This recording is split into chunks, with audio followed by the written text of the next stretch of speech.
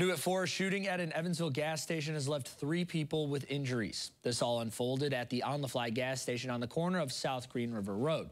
Now, one man has been taken into custody. However, authorities say more arrests are also likely. 44 News reporter Leah Malero has the details on the investigation.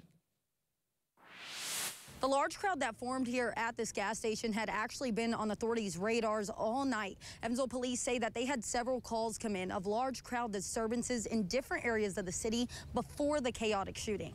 So we were aware that there was something going on, um, but unfortunately it increased to gun violence before we were able to get them under control.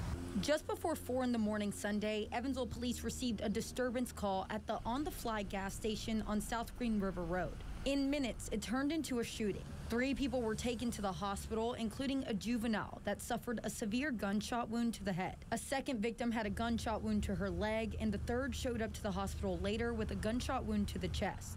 While the two adult victims are facing non life threatening injuries, EPD says the condition of the juvenile is still unknown. One man, 32 year old Luther Lawton has been arrested in connection to the shooting. Police say he was shown on surveillance footage firing at the crowd of people. EPD says Lawton is considered a serious violent felon and he's charged with criminal recklessness with a deadly weapon, a felony battery charge with a deadly weapon, and possession of a firearm by a serious violent felon. One other suspect is still at large, however. According to investigators, surveillance footage showed another male shooting three times in the direction of the juvenile and one of the adult victims. Authorities say say, however, that they aren't commenting on that second suspect at this time. Uh, from our aspect, I'm not going to speak on the other suspect. They were able to quickly ascertain a couple of suspects. One has been taken into custody, uh, was taken into custody yesterday afternoon.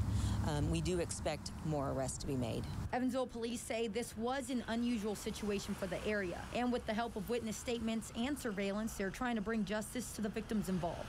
By people giving us statements and working with us, it helps us solve the crime that we need to solve to keep our city safe. This investigation is still ongoing, but Evansville police say if you have any information that can help them in this investigation, you're urged to contact them immediately. Reporting in Evansville, Aaliyah Malero, 44 News.